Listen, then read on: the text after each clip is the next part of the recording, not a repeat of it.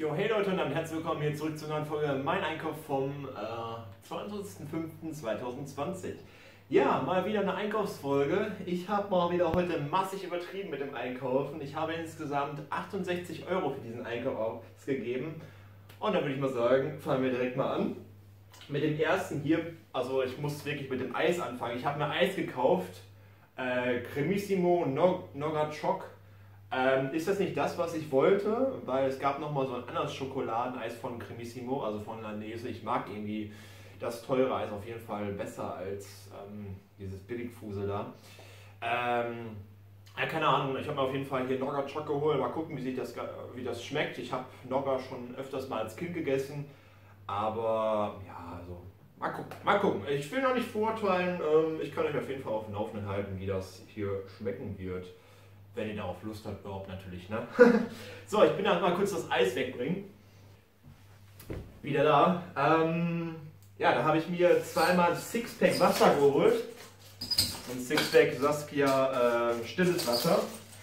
Äh, was ich normalerweise immer trinke, weil ich mag halt einfach kein Sprudelwasser. Also es ist halt einfach Fakt. Ich mag es halt einfach nicht, wenn mein Magen sich so aufbläht und keine Ahnung, man trinkt einen Schluck Kohlensäurewasser und dann ist die ganze Zeit aufstoßen, ey. Naja, egal. Äh, dann fangen wir hier weiter an mit Crownfield Schoko Shells, äh, 750 Gramm. Ähm, die habe ich letztes Mal von Aldi ausprobiert, muss zugeben, die haben mir sehr, sehr gut geschmeckt. Ich hoffe mal, dass die hier von Lidl auch ganz gut schmecken werden. Sehr, sehr schokoladig erwarte ich auf jeden Fall hier das äh, Paradies. mal schauen, mal schauen. Äh, Schokolade, wie gesagt, ich kann mich gerne wiederholen. Schokolade ist für mich echt einer meiner Grundnahrungsmittel geworden. Weiß ich nicht. Ich, Schokolade macht mich einfach immer glücklich, müsst ihr verstehen. So, dann habe ich mir hier die Nougat Pilos geholt, also die Nougat, ähm, Nougat Bits. Sie heißen hier Nougat Pilos. Heißt das Bits auch? Ich weiß gerade gar nicht. Haben die den Namen geändert? Aber egal. Ich habe mir auf jeden Fall hier auch mal 750 Gramm geholt. Äh, ich habe die ja letztes Mal von Oreo, also von diesem äh, Neo äh, Fake-Ding da ausprobiert, also diese Fake Oreo äh, Cornflakes. Die haben jetzt nicht so ganz gut geschmeckt. Also würde ich euch die auf jeden Fall nicht empfehlen. Ähm, kommt natürlich auch auf den Geschmack an, aber ich finde, weißt du, die, sind, die haben sehr pappig geschmeckt und ich mag halt Cornflakes nicht, die so pappig schmecken, weißt du. Naja, ganz empfindlicher Mensch und ganz komischer Mensch, weiß bin ich, ich weiß. So, da habe ich mir dann äh, Hähnchengeschnetzeltes von Landjunker geholt. Würde ich mir auf jeden Fall Pommes dazu machen oder generell halt einfach, weiß ich nicht, man macht sich das auf den Toast und macht dann Ketchup drauf und dann kann man das auch natürlich so essen. Also so Hähnchengeschnetzeltes ist immer sehr, sehr gut im Haus zu haben. Ja, 400 Gramm. Ähm, müsste ich auch auf jeden Fall gleich schnell den Kühlschrank tun. Ich habe wirklich viele Sachen, die gefroren sind auch und die müssen halt unbedingt irgendwann in die Kühlung. Äh, dann habe ich mir Süßkartoffelpommes geholt von Harvest Bars. Ich wollte die unbedingt auch mal also in der Fritteuse ausprobieren, weil ich habe jetzt neuerdings eine Fritteuse, ich mache die jetzt nicht mehr im Backofen. Und ja, mal schauen, wie sie äh, aus der Fritteuse bei mir schmecken. Bin ich mal ganz gespannt. Werde ich mir vielleicht in den nächsten Tagen mal auf jeden Fall mal machen. Und dann, vielleicht kann ich dann auch ja hier auch das Hähnchen geschnitzelt das dazu essen. Ne? Also, und 500 Gramm ist jetzt nicht so viel, oder? Sind das 500 Gramm? Aber das sind Süßkartoffelpommes, die sind halt immer teurer und weniger drin. Ne? Also damit verdiene ich schon ordentlich die Industrie, denke ich mal. So, oh Mann, eigentlich wollte ich mir das bis zum Schluss aufbewahren, aber Digga, Alter. Ist das, war's das? Ja. Ich habe mir, ähm, so. Nein, ihr könnt mich ruhig auslachen. Ich scheiß drauf. Ich habe mir dreimal Flammkuchen geholt von äh, Dot Götzka, weil das gerade alles im Angebot ist, habe ich einfach auch noch zugeschlagen bei der Restaurante Pizza Salami.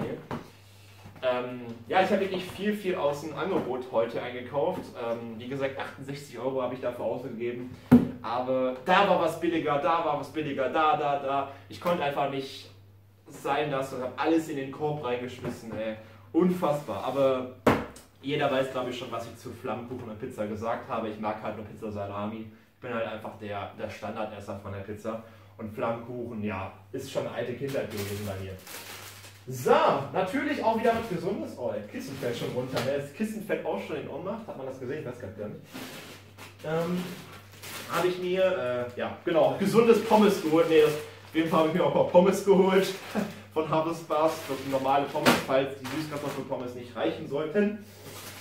Und ich habe auch für drei, vier Wochen schon eingekauft wieder. Also keine Sorge, Leute, das werde ich jetzt nicht alles in einer Woche beputzen. Also ich bin schon einer, der ein bisschen auf seine Figur achtet. Guck mal, was für schlanke Beine ich habe. Ne? Sieht man das in der Kamera? Ja, kommt ein bisschen dick rüber, aber ich, hab, ich bin wirklich ein schlanker Person, Leute, glaubt ihr mir. Hoffentlich mal. Äh, so, da habe ich mir Eisbergsalat, Rohkostenmix, gewaschen und sofort verzehrfertig geholt. In 150 Gramm. Ein bisschen Salat äh, für die gesunde Ernährung tut auch gut. Da habe ich mir auf jeden Fall auch noch Joghurt-Dressing geholt. Wo ist der denn da geblieben? Ja, ich habe hier echt nur ein bisschen ähm, wenig Ordnung, aber zeige ich euch gleich noch. Dann habe ich mir Gouda Jung geholt, gerieben. Wie gesagt, Leute, ich habe hier alles ein bisschen durcheinander. Äh, ich habe mir Gouda Jung gerieben geholt, weil ich mir wieder Pizza machen wollte, selbstgemachte auch wieder. Der Pizza Kombi habe ich mir auch geholt, wieder von Lidl. Und dann habe ich mir endlich mal, endlich habe ich dran gedacht, endlich, habe ich mir mal Eier geholt, Leute. Eier. Jetzt kann ich endlich mal ein geiles Frühstück haben. Also ich wollte mal gerne wieder Rührei essen, Spiegelei. Was weiß ich, der Geier arme Ritter, ne, wollte ich auch mal wieder machen mit Toast. Ne, und dann macht man da so äh, Ei rein und dann brät man das in der Pfanne fertig. Ich weiß nicht, ob ihr das kennt, schmeckt übelst lecker, kann ich dazu empfehlen, auch noch Ketchup zu essen. Ja, ähm, Eier auf jeden Fall geholt. Dann habe ich mir 1, 2, 3 Mal äh, Spaghetti geholt von Cobino, aber leider sind das die billigen. Ich wollte eigentlich die teuren Barilla-Nudeln haben, weil ich weiß auch nicht, die schmecken mir deutlich besser als diese billig Hartweizen, Grieß, da was auch immer. Äh, auf jeden Fall habe ich mir dreimal Nudeln geholt für, für Spaghetti Carbonara oder Bolognese, was ich mir mal wieder machen wollte. Äh, Hackfleisch habe ich auch noch in der Tiefkühltruhe, da können wir auf jeden Fall heute vielleicht mal Bolognese machen. Muss mal schauen. Äh, dann habe ich mir ja, Schinken geholt für die Carbonara. Delikates Kochschinken und einmal Salami äh, für die Pizza. Jo. Ich mache heute alles nämlich einen Schnelldurchgang, Leute, weil ich wollte jetzt wirklich auch alles langsam in die Kultur tun, weil es ist schon alles echt lange draußen und ich möchte nicht, dass es alles so matschig wird. So, dann habe ich mir Kräuterbaguette von Chef Select geholt mit Kräuterbutterfüllung. Übelst geil auch. Ähm, wird auf jeden Fall gleich in die Tiefkultur auch kommen. Ähm, das Lustige ist, Leute, ich muss euch noch kurz eine kleine Story erzählen. Und zwar ähm, gab es ähm, die einzeln auch zu kaufen, so im äh, Kühlregal. Und dann gab es die in äh, Kombi, ähm, Kombi-Packung in äh, TK-Regal, also dann in Tiefkühl. Und ähm, Einzeln sind die billiger als zusammen in einer Packung. Das muss man sich mal vorstellen. Ich glaube 10, 20 Cent billiger. Ich weiß nicht, ob, es, also, ob, ob die dumm sind. Also es ist halt einfach genau das gleiche. Genau das gleiche Kräuterbaguette, gleiche Firma und so weiter. Und man verlangt einfach mal 10 äh, Cent mehr. Ne? Muss man nicht verstehen. Aber 10, 20, irgendwas war da. 10 oder 20 Cent. Weiß ich jetzt nicht mehr genau. Aber ja, verrückte äh, Leute auf jeden Fall, die da die Preise ausmachen. Dann habe ich mir von Chef Select Focaccia, Focaccia Mozzarella und Kräuter geholt. Ist halt so ein Kräuter ähm, Mozzarella. Ähm, was ist das? Wie kann man das? Ja, ist halt so, so, so ein Gebäck halt auch, ne? Aber schmeckt halt voll nach Kräuter und ja, Mozzarella halt, ne? Und schmeckt. Das habe ich letztes Mal ausprobiert und fand ich übelst geil. Habe ich mir mal ähm, außerhalb der Kamera geholt. Ja, ähm, kann ich nur empfehlen, könnt ihr auch mal ausprobieren. Also falls ihr so für einen Grillabend ist das wahrscheinlich auch super geeignet. Das ist genauso wie dieses Kräuterbaguette, ne, eignet sich mal perfekt zum Grillen, aber leider habe ich hier noch keinen Grill. Werde ich mir auf jeden Fall in nächster Zukunft mal äh, anschaffen. Vielleicht können wir ja dann zusammen mal grillen draußen, Leute. Habt ihr mal Bock auf ein Grillvideo mit mir? Dann schreibt es gerne in die Kommentare. Ich bin da sehr, sehr, ähm, sehr, sehr offen bei sowas, weißt du?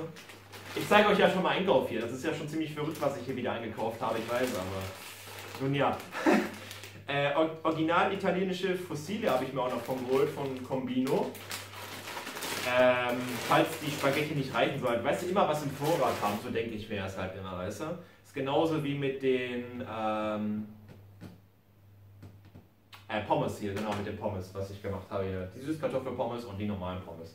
So, dann ist ja halt auch die erste äh, Tüte leer. Ich habe mir die Tüte auch hier gekauft. Gehört auch zum einen mein Einkauf. Die habe ich mir heute gekauft, weil die eine Tüte nicht mehr ausgereicht hat. Ich weiß auch nicht, ich bin einer, der zwei Tüten braucht beim Einkaufen. Das ist ganz schön verrückt, ne? So, haben wir noch eine riesen Tüte hier.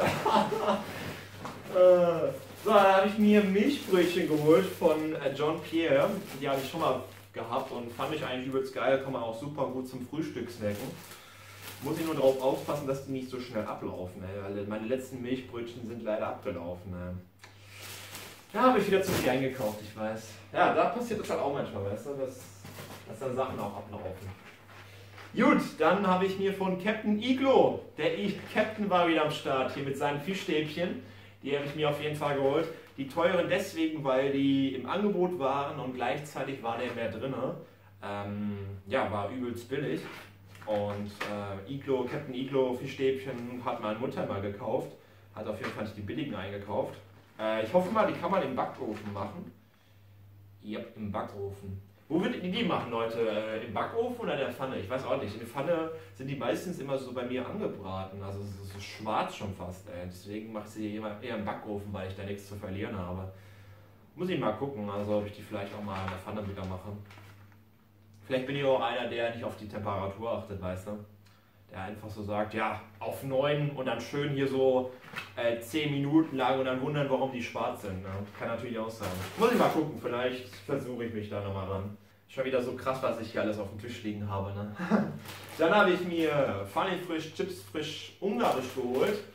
Ähm, kann ich nur empfehlen. Die teuren schmecken halt besser als die billigen. Ist halt so Fakt. Und ähm, ja, ich weiß halt nicht, wie, wie die das hinbekommen, weißt du?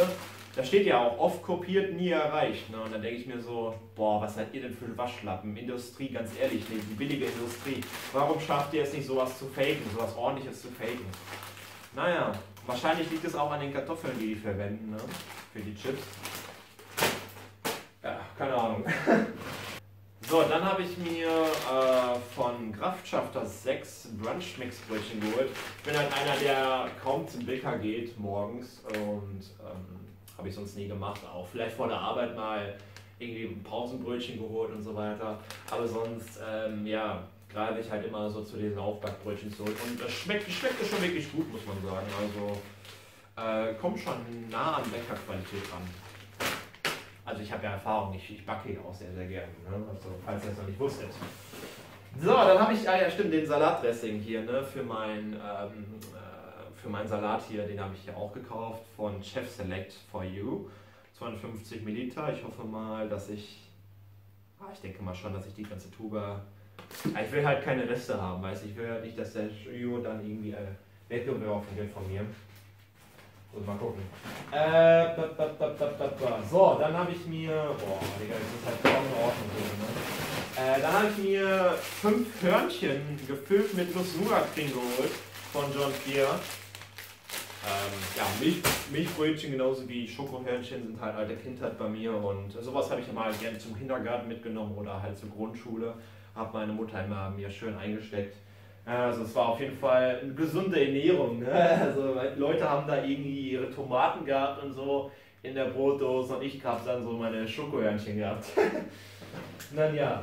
Äh, dann habe ich mir von Landjunker geschnitzeltes Gyros geholt. Mal wieder Gyros, ey. Ähm, übelst geil. Mal schauen, mal schauen. Äh, werde ich mir garantiert dazu wieder Pommes machen. Aber wird natürlich auch eingefroren und somit kann ich das dann die nächsten Wochen auf jeden Fall irgendwann mal verbrauchen. Wie gesagt, das ist ja hier für zwei, drei Wochen oder vier Wochen mal schauen. Eingekauft hier alles. Ähm, dann habe ich mir, da ja normalerweise trinke ich sowas gar nicht mehr, habe ich mir Rockstar Energy Drink geholt. Äh, deswegen, weil es im Angebot war und ich dachte mir so, ja, für für die schlimmen Nächte, weißt du, wenn du schon so müde bist, äh, wenn du Rocket League schön durchsuchten musst, kaufst du dir auf jeden Fall zwei Energy Drinks. Ähm, für alle Fälle auf jeden Fall gewappnet. Oder für den nächsten Besuch mal schauen. Falls der irgendwie Stadt machen sollte, dann gönnen wir uns beide einen Energy Drink. Äh, so, das packe ich auf jeden Fall erstmal weg. So, wir kommen langsam zum Ende an, Leute. Ist nicht mehr so viel. Dann habe ich mir Prinzenrolle von dem Beugler geholt halt auch alte Kindheit von mir und äh, ich habe mir jetzt auf jeden Fall mal die teure auch gekauft, weil sie auch im Angebot gewesen ist.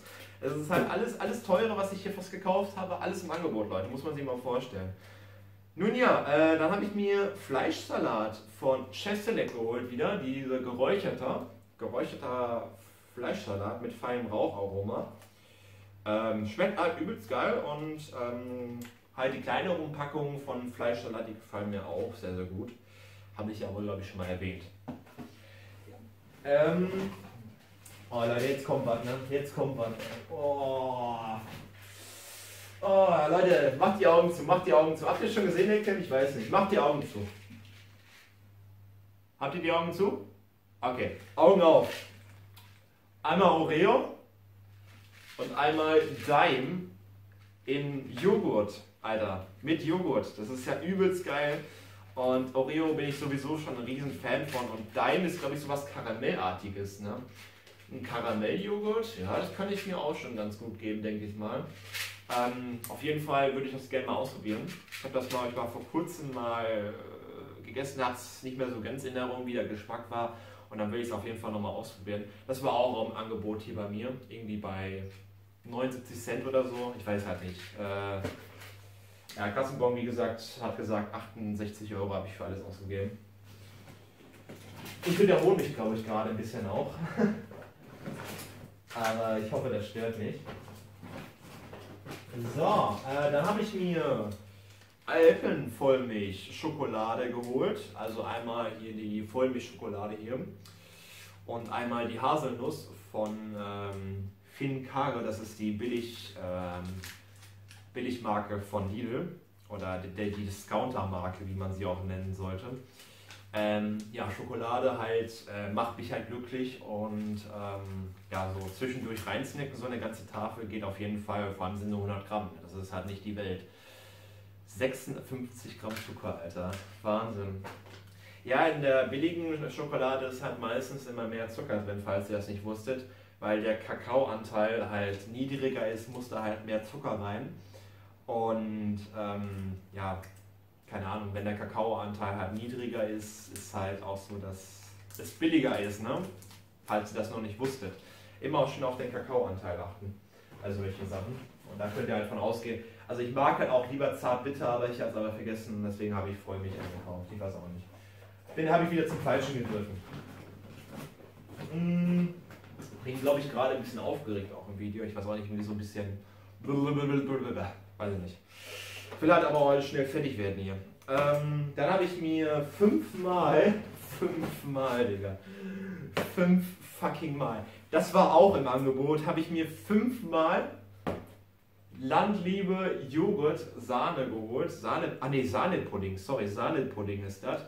In der Schokoladenform natürlich auch wieder und ähm, ja, es hat auch übelst alte Kindheit bei mir gewesen und es ist halt auch ein übelst cremiger Joghurt. Ne? Ich weiß halt nicht, wie die das hinbekommen da so viel Sahne runterzuheben. Auf jeden Fall gute, gute Qualität. Ähm, ja, kann man sich sehr, sehr gut geben. Digga, Digga der, ganze, der ganze Tisch ist voll. Kommt auch mal. Dann habe ich mir mit Bonner fettarmer Joghurt geholt. Digga, wie lange geht denn das schon das Video? Ja, geht einigermaßen. Ne? Also, wir sind heute ganz gut in der Zeit. Habe ich mir fettarmer Joghurt Erdbeere geholt von Milbonner mh, hm, halt, ähm, da denkt man sich so, oh, Erdbeeren, ne, ist auf jeden Fall richtig gesund und deswegen hat man sich den Joghurt gekauft. Ne? Nein, Quatsch, keine Ahnung, ist auf jeden Fall auch ein guter Zwischendurch-Snack, so ein kleiner Joghurt und ähm, ja, mal schauen, mal schauen. Ich habe auf jeden Fall keine großen Erwartungen bei sowas. Ne? Also, dass es jetzt hier nicht viel nach Erdbeer schmeckt, das ist ja auch, glaube ich, jedem klar, dass da auch Aromen drin sind und so weiter. Ja, dann habe ich mir Ei und Bacon Brotaufstrich von Chef Select geholt mit deftigem Speck. Habe ich mir jetzt mal auch geholt bei, ähm, war das bei Lidl? Ich glaube beim Lidl habe ich, oder war das bei Aldi? Ich, ja, stimmt, ich war letztes Mal bei Aldi, Leute. Den Einkauf habe ich nämlich nicht hochgeladen, weil mir der nicht so gut gefallen hat vom Commentary her. Aber den werde ich auf jeden Fall jetzt hier hochladen. Ja. Ähm, habe ich mir auf jeden Fall schon mal geholt und muss zugeben, übelst geil äh, mit Bacon, also der Bacon-Geschmack, der ist auf jeden Fall am Start. Dann habe ich mir von Sunday die Fake Oreos geholt, weil, ach, sagen wir mal ehrlich, manchmal schmecke ich da kaum Unterschied draus zwischen den originalen Oreo und den Fake Oreos. Es kommt den Original schon ziemlich nah, muss man sagen. Also die haben das schon sehr, sehr gut gefaked. Gut, und dann zum Schluss, Leute. Das ist das letzte aus meinem Einkauf. Natürlich was darf in jedem Haushalt nicht fehlen und wo es bei mir immer sehr, sehr krass mangelt, wenn ich irgendwie Cornflakes essen möchte oder Spaghetti Carbonara. Alles, was mit Milch zu tun hat natürlich. Deswegen habe ich mir eins, zwei, dreimal Milch geholt. Ich habe jetzt noch eine Packung Milch bei mir im Kühlschrank, also viermal Milch habe ich auf jeden Fall. Das reicht für die ganzen Cornflakes, denke ich mal, aus. ja, und ähm, ja, 3,5% Fett ist auf jeden Fall die frische Milch, weil ich trinke halt keine haltbare Milch, die schmeckt halt wirklich wie Plörre. Ja, und das war's dann, Leute. Das war's dann mit meinem Einkauf, Alter. Oh mein Gott, Leute. Oh mein Gott. Ich trinke mal kurz einen Schluck Wasser, Leute. Boah, ist mir echt warm gerade, ey. Ist mir echt gerade warm, ey. Und sehr, sehr viel Durst habe ich auch wieder, ey. Wenn ich so viel geredet habe, Leute, muss ich erstmal was trinken. So. Dann, Leute, bedanke ich mich fürs Einschalten. Ich würde mich immer wieder freuen, wenn ihr mein Video positiv bewertet und natürlich auch einen Kommentar verfasst. Ähm, und da könnt ihr auch mal wieder gerne reinschreiben, was ihr so von den ganzen Sachen feiert und was ihr gerne mal selber essen würdet. Oder jetzt gerade, worauf ihr gerade Lust habt, könnt ihr auch gerne in die Kommentare reinschreiben. Ne? Also ich hätte jetzt auf jeden Fall Bock, erstmal gleich mir so ein Sahne-Joghurt reinzupfeffern. Gut.